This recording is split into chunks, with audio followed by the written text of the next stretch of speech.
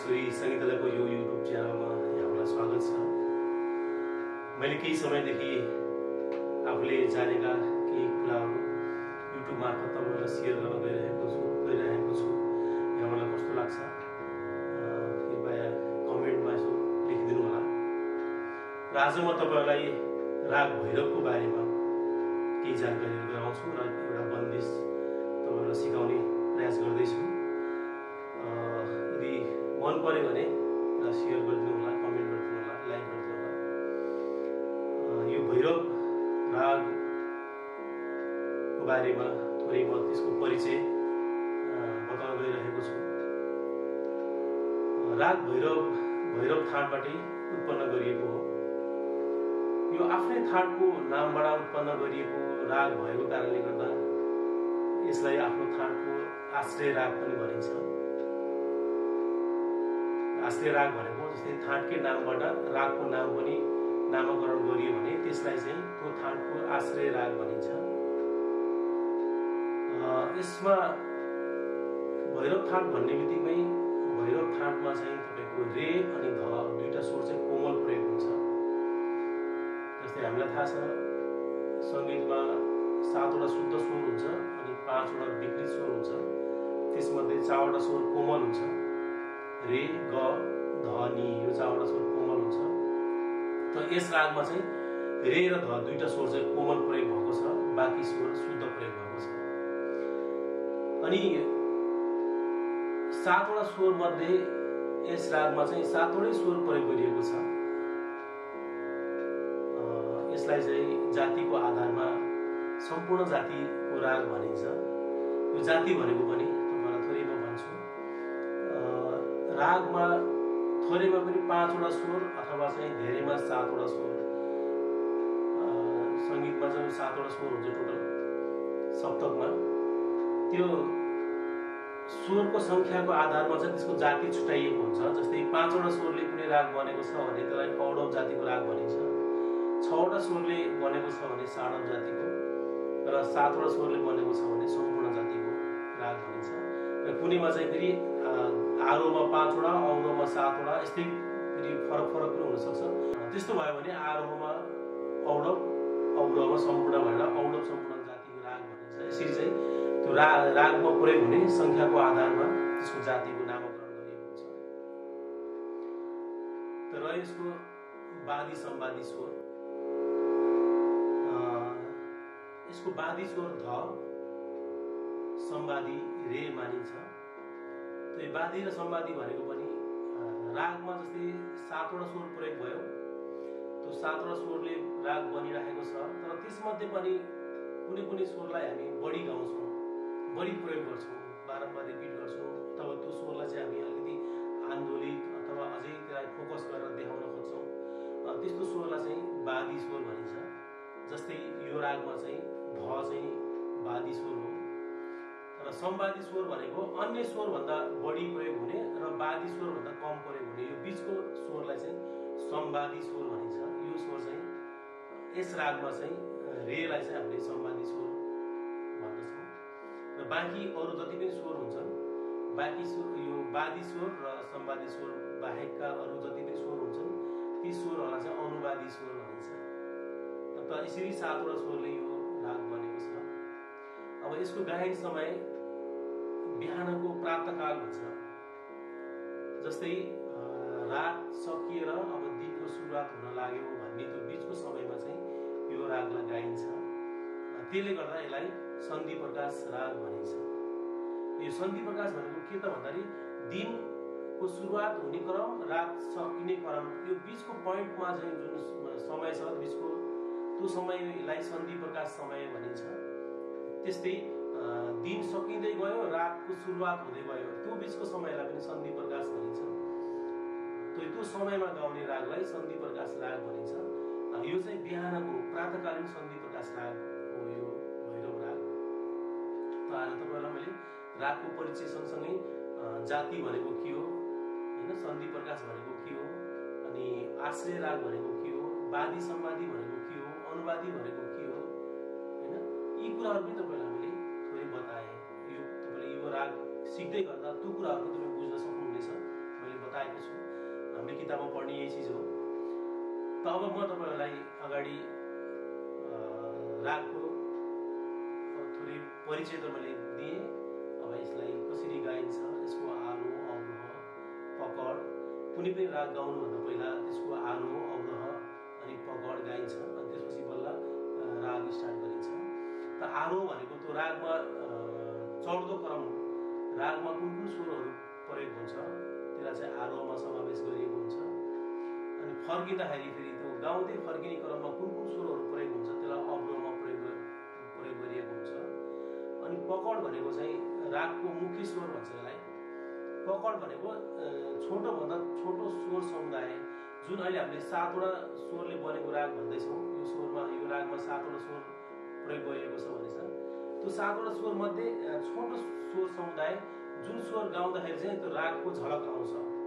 राग यस्तो खालको मेलोडी छ रहेछ भन्ने किसिमको चाहिँ झलक आउँछ। त्यसलाई चाहिँ जो छोटो स्वरको समुदाय मिलाएर राखिएको हुन्छ। त्यसलाई चाहिँ पकड भनिन्छ अथवा मुख्य स्वर पनि भनिन्छ। त यो रह्यो रागको परिचय अनि मैले आरो अवरो पकडको विषयमा। अब म तपाईँहरूलाई चाहिँ रागको आरो अनि पकड कसरी गाइन्छ के के हो त्यो सुनाउन चाहन्छु र मैले गाउँदै गर्दा तपाईँहरूले त्यसलाई फलो गरेर मैले यहाँ स्क्रिनमा पनि लेखिदिएको हुन्छु।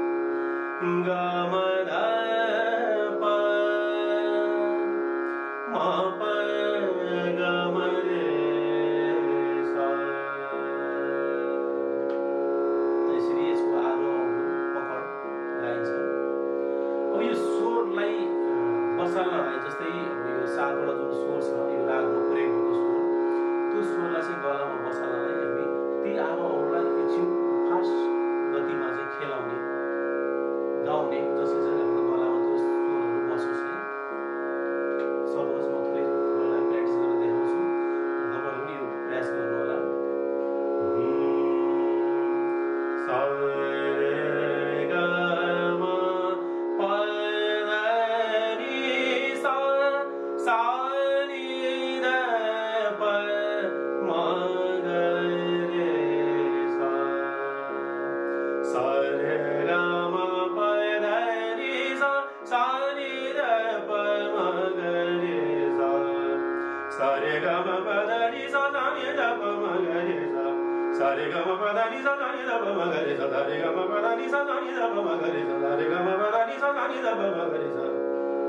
यसरी थोरै फास्ट अभ्यास गऱ्यो भने गलामा एक किसिमको खिड्का पनि बस्दै जान्छ। र यसको स्वरहरू पनि गलामा सेट हुन्छ।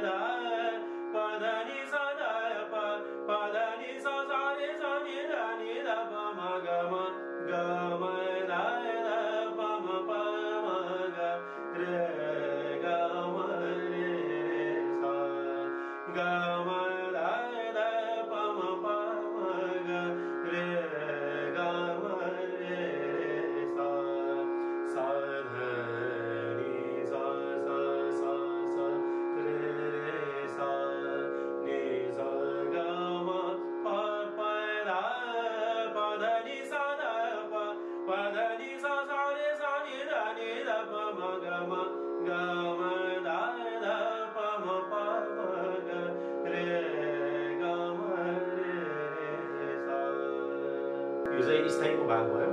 सर्वम। अब अन्तरालको सर्वम। प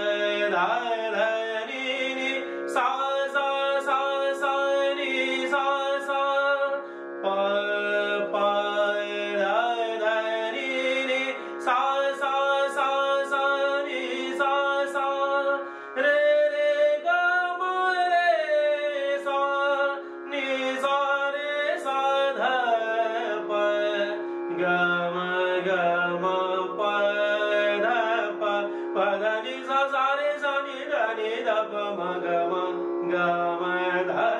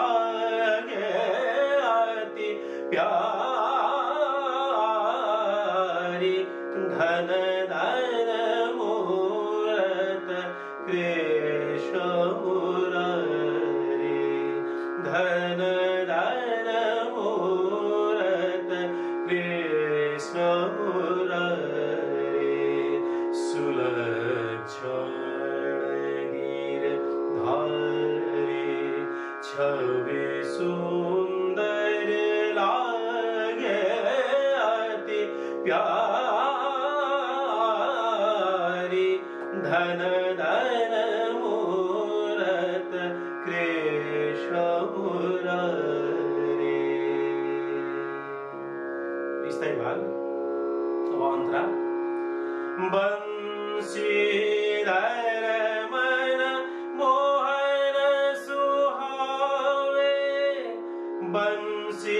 Hey.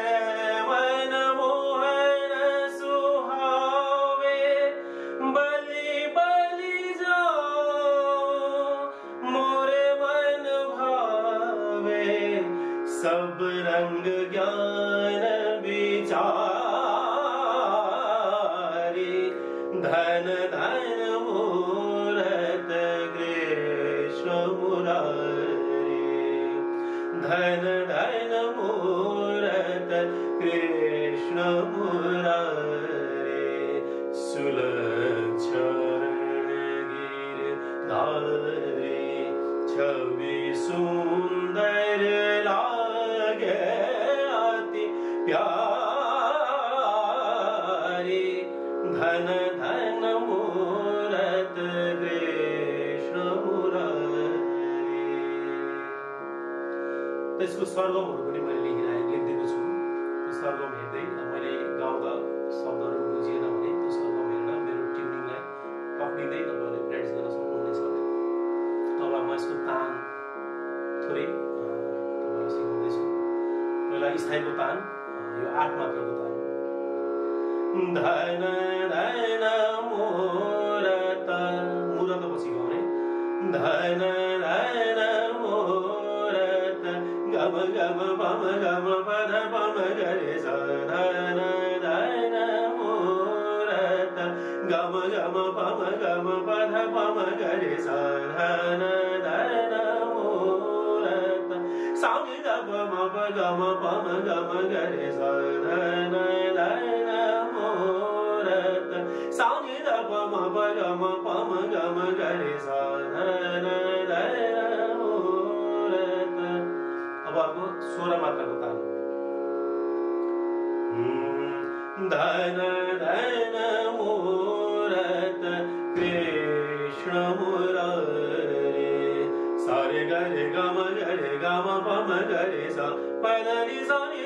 गरे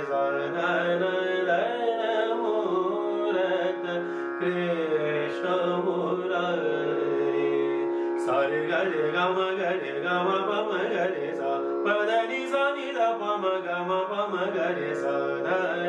धन मूरत कृष्ण यस्तै गरी अन्तराको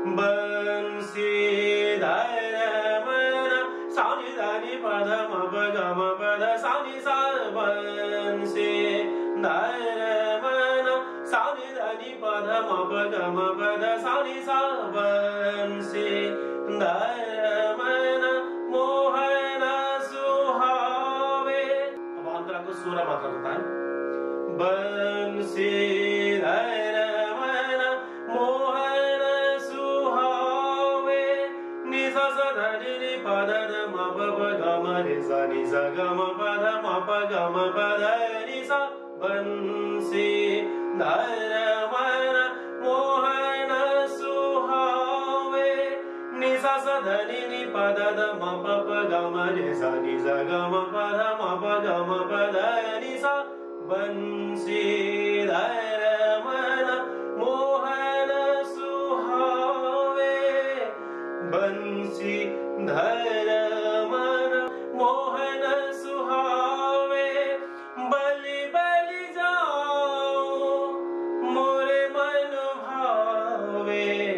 सब रंग ज्ञान विचारे।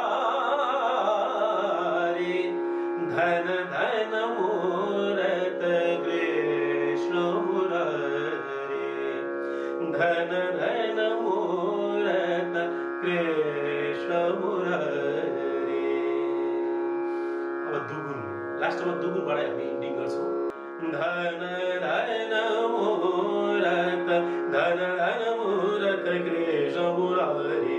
सुलक्षण गिरधारी छवि सुन्दर लागे अति प्यारी धन धन मूरत धन धन मूरत धन धन मूरत कृष्ण मुरारी।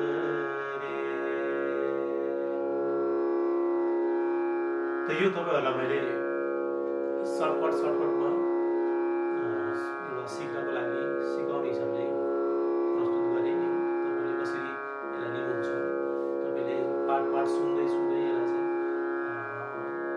तयारी गर्न सक्नुहुनेछ अब जसरी मैले सुरुमा आरो औरो पकड गाएँ त्यहाँबाट फेरि स्थायी अनि अन्तरा अनि ताल यसरी कन्टिन्यू जाँदाखेरि अलिक छोटो समयमा हामी सबलाई गर्न सक्छौँ। अहिले मैले तपाईँलाई पाठ पाठ गाएर सिकाएको छु। त कस्तो लाग्यो?